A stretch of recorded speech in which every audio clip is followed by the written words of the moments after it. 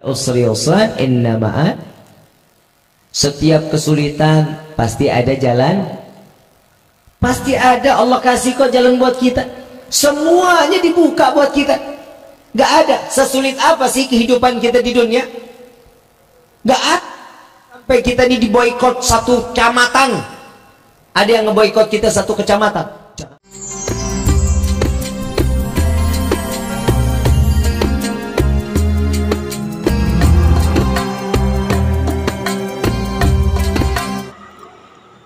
Assalamualaikum warahmatullahi wabarakatuh. Alhamdulillahi rabbil alamin Wabihi nasta'inu ala umuri dunia wa din. Wassalatu wassalamu ala ashrafil anbiya wal mursalin Sayyidina wa habibina wa syafi'ina wa maulana muhammadin. Amma ba'duh Hai sahabat Youtube Kembali lagi dengan kami pencinta dakwah. Semoga apa yang beliau sampaikan bisa kita pahami dan bermanfaat. Untuk lebih jelasnya, marilah kita langsung menyaksikan apa yang akan beliau sampaikan. Wassalamualaikum warahmatullahi wabarakatuh. Saat Nabi dilahirkan ke dunia, pilar-pilar kejayaan Persia Romawi diruntuhkan oleh Allah api raja yang di, yang disembah oleh orang kaum-kaum majusi mereka menyembah api. Ribuan tahun tidak pernah padam saat Nabi dilahirkan. Padam api tersebut. Logika. Bisa nggak padamkan api majusi yang disembah oleh orang kaum majusi seribu tahun ribuan tahun sebelum dilahirkan Nabi? Bisa nggak dipadamkan Pilar-pilar kejayaan Persia Romawi bisa nggak Allah hancurkan sebelum ribuan tahun Nabi dilahirkan ke dunia?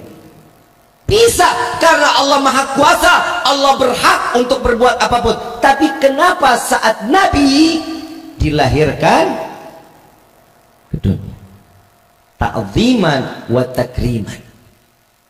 Karena Allah memuliakan dan mengagungkan Rasulullah sallallahu alaihi wasallam maka dari itu perayaan Maulid kita di malam ini mengingat saat di mana Nabi Shallallahu Alaihi Wasallam dilahirkan ini adalah salah satu bahwa kita ini mengharapkan dimuliakan Allah dan diagungkan Allah karena kita memuliakan dan mengagungkan Rasulullah Sallallahu Alaihi Paham sampai sini? Jadi maulid kali ini satu kita seperti ini ingin kita ini dimuliakan dan diagungkan oleh Allah. Maulid tiap tahun kita rayakan. Maulid setiap tahun kita rayakan. Setiap penceramah semua mengangkat syarah nabawiyah tentang sejarahnya Rasulullah sallallahu alaihi wasallam ibadahnya Nabi. Dan semua pasti berwasiat yuk sama-sama kita makin dekat lagi ibadah kepada Allah. Semua para alim ulama mau kiai, mau ajangannya, mau habaibnya pasti duduk menyampaikan untuk kita takwa kepada Allah. Dari maulid yang lalu sampai maulid kali ini adakah perubahan di dalam kehidupan kita di dalam beribadah kepada Allah nggak usah dijawab. Kita cukup berkaca di dalam hati kita. Apa yang sudah berubah di dalam kehidupan kita tatkala tatkala sudah para guru para alim ulama memberikan nasihat tentang Nabi Shallallahu Alaihi Wasallam. Apa yang telah kita lakukan? Ibadah kita udah jauh lebih baik dari tahun kemarin atau sama baik? Kita udah menambah atau makin berkurang kalau ini terjadi, kalau ini terjadi penambahan berarti kita termasuk orang yang diberikan hidayah oleh Allah. Kalau ini menurun, ah ini hati-hati nih. Mau tidak mau Allah cabut sedikit demi sedikit kenikmatan iman yang dititipkan kepada setiap hamba seperti modelnya kayak kita. Kita sholat, sholat, puasa, puasa, zakat bayar kita zakat. Haji insya Allah kita jalankan. Tapi semua iman penuh dengan keraguan kepada Allah betul apa enggak? Allah kan jelasin fa inna ma'al usri yusran inna ma'al setiap kesulitan pasti ada jalan. Pasti ada. Allah kasih kok jalan buat kita. Semuanya dibuka buat kita gak ada. Sesulit apa sih kehidupan kita di dunia? Gak ada. Sampai kita ini diboykot satu kecamatan. Ada yang ngeboykot kita satu kecamatan. Jangan main sama dia ya. Ada yang begitu? Warung gak boleh satu kecamatan. Kalau si fulan belanja ke sini jangan dikasih. Ada yang begitu? Lihat pengorbanan Nabi Muhammad wasallam Nabi semua dilakukan dan apa yang Nabi dapat ujian di dalam kehidupan itu semata untuk menyelamatkan umat agar mereka di akhir zaman tidak mendapatkan satu penyesalan jika mereka beriman kepada Allah dan beriman kepada Rasul sallallahu alaihi Tadi saya menyatakan Nabi pernah tujuh hari tujuh malam nggak makan, betul ya? Betul ya? Kita pernah apa nggak? Apa sih kata Nabi? Sayyidina Umar bertanya, Ya Rasulullah, kenapa engkau tidak berbicara kepada kami sedangkan engkau tidak makan selama tujuh hari? Apa yang membuatmu tidak makan, Ya Rasulullah? Kenapa kali engkau tidak meminta kepada kami? Jawaban Rasulullah, Ya Umar, jika aku ingin meminta, aku pasti meminta kepada Allah. Tapi aku ingin merasakan di akhir zaman kelak aku khawatir umatku ada yang kelaparan sedangkan aku tidak dapat merasakan kelaparannya maka aku takut ini akan menjadi tanggung jawabku kelak di yaumil kiamah. Maka dari itu Nabi merasakan kelaparannya agar apa? Agar Nabi dapat membela umat Rasul sallallahu alaihi wasallam di yaumil kiamah bahwa kita tahu betul Nabi tahu siksaan tatkala dalam keadaan kelaparan. Tapi sampai detik ini ada yang kita kelaparan tujuh hari. Kenapa? Karena sudah ditalangi oleh Nabi Muhammad sallallahu alaihi wasallam. Kita dari semua nih apa yang kita jalankan nggak ada orang yang benci kita. Semua kita diterima, aib kita ditutup oleh Allah. Karena apa? Karena Allah telah lebih dulu memberikan ujian kepada Nabi sehingga umatnya tidak diberikan kesempatan bahwa Nabi mengatakan ya Allah cukup aku yang menerima jangan umatku yang menerima hal tidak kebaikan ini Masyaallah hadirin rahimakumullah kita jujur kita ini malunya udah kelewatan sama Nabi kita punya malu ini bukan main Nabi orang yang paling pandai bersyukur Nabi ribuan rakaat dilakukan buat siapa? Buat umat. Doa yang dia yang Nabi angkat tangan buat umat bukan buat diri pribadi. Nabi ini menyebarkan rahmat sebagaimana Allah memberikan rahmat. Saya mau tanya di sini ada nggak orang yang nggak punya dosa? Ada nggak orang yang nggak punya dosa di sini? Berarti sepakat kita semua punya dosa ada firman Allah Subhanahu wa taala yang menyatakan, "Aku mencintai hambaku yang bertaubat." Betul apa enggak? Betul enggak? Kita dosa banyak, kita bertobat, Allah masih cintain. Kita masih dicintain sama Allah. Dosa kita segitu banyak dicintai. Habis dosa kita dihapus oleh Allah, diganti dengan pahala yang berlimpah di hadapan Allah. Jika hamba tersebut ingin taubatan nasuh, yang sampai detik ini kita udah taubatnya udah belum gak usah dijawab dalam hati aja. Kita belum taubat tapi umur sudah. Yang bikin dosa anak muda yang kesiksa orang. Kita mah enak sekarang dosa ah nggak kelihatan kebayang. Kita kan tadi sepakat kita di sini punya dosa.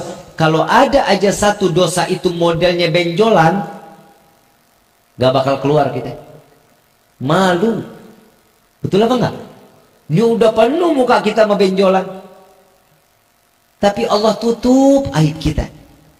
Allah berikan satu kemanfaatan umur di dalam hidup kita nih. Cuman kita nih tugasnya cuman ibadah. Tapi emang dasar kitanya geblok. Tahu geblok? Oon? Tahu oon? Bodoh.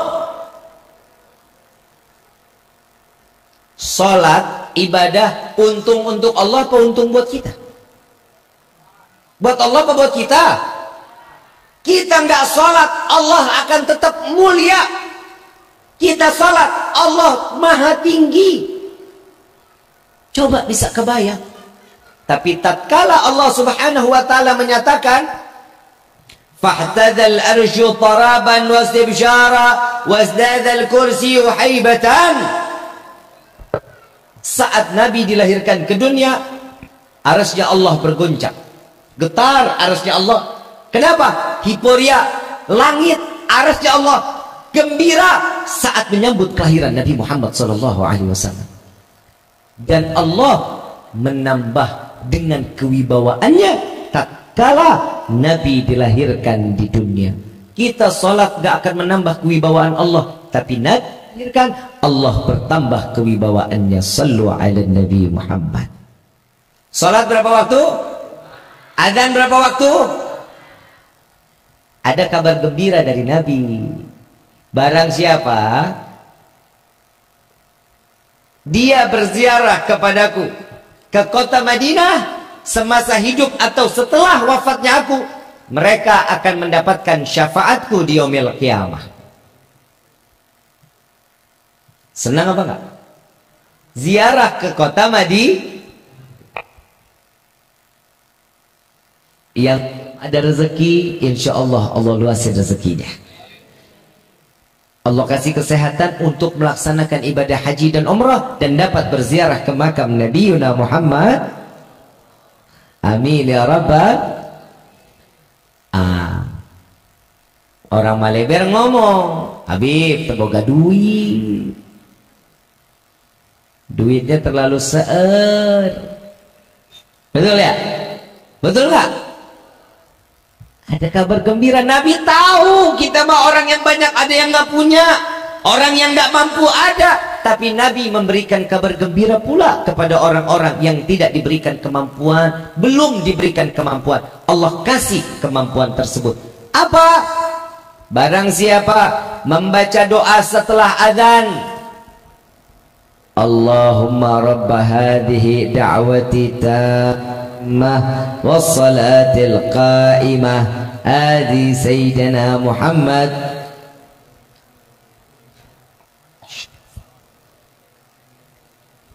وابعده مقاما محمودا الذي وعدته. إنك لا تخلف barang siapa yang membaca doa adhan Dia wajib mendapatkan syafaatku di yaumil qiyamah Masalahnya adzan sehari semalam berapa waktu? Lima kali adzan.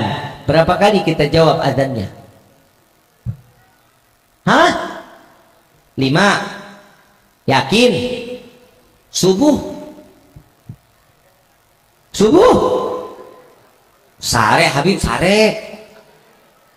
Betul. Buhur lagi di jalan, Habib lagi di jalan. terkedenge. Ya udah mulai bisa saya. Betul nggak? Asar. Ya Allah bi. Lagi ngobrol keasikan lupa sama adzan